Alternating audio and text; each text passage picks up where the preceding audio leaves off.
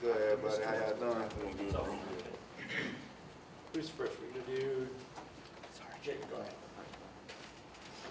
Baylor Jonte, um, just as the vocal leader of the wide receivers, what did you tell those guys once, you know, Omari and Travis, Jimmy, everyone went down late in the game? Uh, next man up mentality.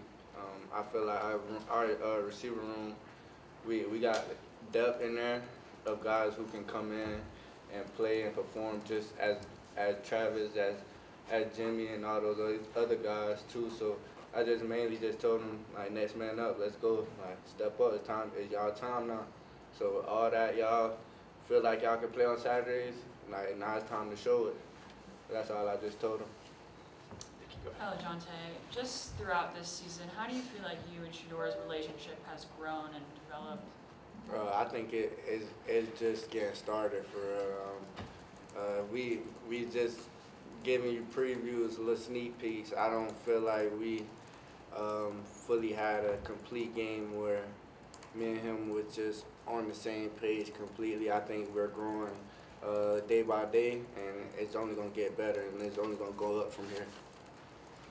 Ella John Tyler King with the Denver Gazette. Obviously, if you guys aren't able to get Travis and Jimmy back for this week, how much does it help that you yourself and Will are you kind of used to having that number one wide receiver workload? Does that give you confidence that you guys won't have much of a drop off just because you're used to that, that kind of high workload? like I said, um, I feel like our receiver room is is really deep and has a lot of experience. Even the young guys who don't have actual game time experience, uh, just the way they practice and attack the day, um, I feel I'm real confident in our group, and I don't think it's gonna be any fall off if they don't play.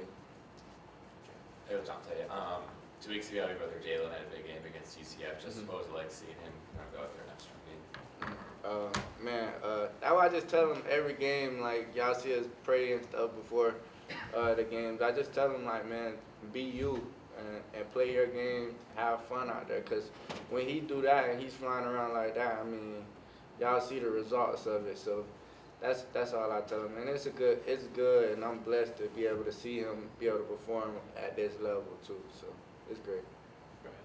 LaJohntay, you talked about the next man up mentality, uh, but when you see a, a teammate like Omarion Miller have the, make the plays that he did and then go down with an injury, as a veteran, is there anything you can say to, to somebody like that to kind of get them through this period? Um, just just just be there for them. That's that's pretty much all you can do. Um, and it it hurt more because before the game he he was feeling it. Like he told me like that's this gonna be one of them games where he feel like he gonna be able to get off. So. I mean, it kind of hurt. It it def not kind of. It definitely hurt seeing him go down. You know, especially go down in this that that that type of way where he can't shake back quick from it. So I mean, the most important thing for for for me to do is just be there for him, cause it's bigger than the game, man. You get players ha- have injuries like that, and they mental start having uh, being depressed and being mental health stuff like that. So my my main thing is just being there for him. If you need anything, just go see him. You know, so that's all I can do right now. Go ahead, Pat. Hey, LaJohntay, uh, Pat Graham, Associated Press. Uh, you Just to kind of expand a little bit on Shedeur, you know, he's going to be a, arguably a top five pick in the NFL draft. What, what makes him so special and what makes, uh, I don't know, catching passes from him maybe different than other quarterbacks? Um, uh, he's a pro. He's a his IQ level is insane. Um, his throwing ability, um, his ability to be able to prolong plays and extend plays and still be able to make uh, throws down the field. Um, so just all of that in one. Um, he's really just the complete quarterback, the quarterback that I've been looking for pretty much my all, all of my college career. So, I mean, I'm I'm glad to be on his side. How's the team moved at this point? We come off of a game like that where um, you guys know you didn't play your best, but could have won that game. Definitely. Um, I mean, we we just trying to get that bad taste out of our mouth right now. Um, right now, you could just see everybody know know we could have won that game. Um, know we should have won that game, and we can't we can't keep dwelling on it. It's on to the next, on to Arizona, and everybody preparing and ready to get back in the in the win column for Arizona. So that's all we can do right now. Hey, LaJohntay, How you doing? when you watch the well-off media videos we've heard from Travis and Shedeur, it seems like there's a collaborative process on it. If you have an idea, speak up and say something. Mhm. Does it, is, is that what it feels like for you, like if you, you see something on the field, they're open and receptive to kind of hearing your point of view? Yeah, definitely. Um, everybody, everybody has a say so on the um, offensive side. I mean, you can't do this just with one person. Um, I mean, Shedeur, he he he he's, he had to see a lot of stuff on the field. I mean, he don't see everything. So, just being able to come back to the sideline and communicate what we see, what how how the D, uh, DB is guarding us or anything like that. So, I mean, just to be able to communicate and have them open conversations on the sideline during the game, I think um, helps our performance during the game. Is that, sorry, little follow is that different than where you've been before? Um, I wouldn't say it's different, but it's different because you know it's getting took in.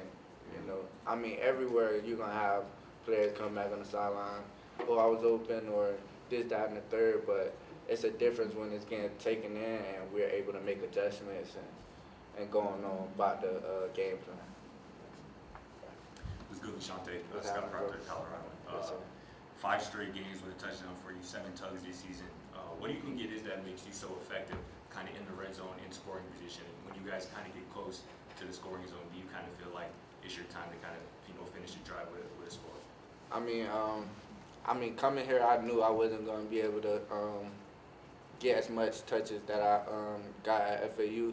So I knew, so I know, like going into every game, I got to capitalize on every touch that I get, and it just so happened every touch touch that I get be close to the red zone, and every time we close to the red zone, it's mandatory I put it in the box. So that's just my my my main goal. Just every time I touch it, try to put it in the box. So I mean, we just got to keep it rolling now, so it's, so we can start winning.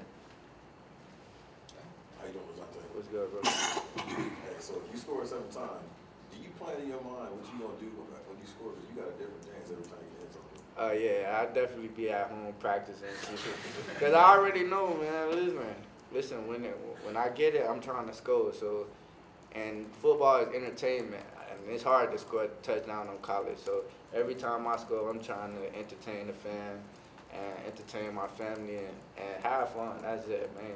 So that's it. So, Yes, sir. Anything else for LaJohntay Wester? All right, thank you very much, sir. Thank you, everybody. Thank you.